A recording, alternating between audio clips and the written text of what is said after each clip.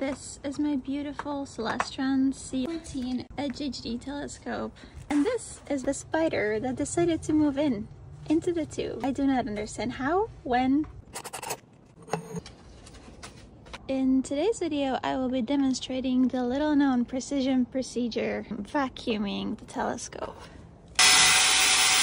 This is not long enough. I have now improved on my precision instrument by adding this little elbow. The goal is to get this in there. This is not gonna work. I'm gonna have to do what I wanted to avoid at all costs, which is grabbing it by hand. No, no, no, no, where did it, where did it go? It's at the bottom. It's moving closer to the mirror. I'm gonna catch you. I have it. Oh, it's disgusting.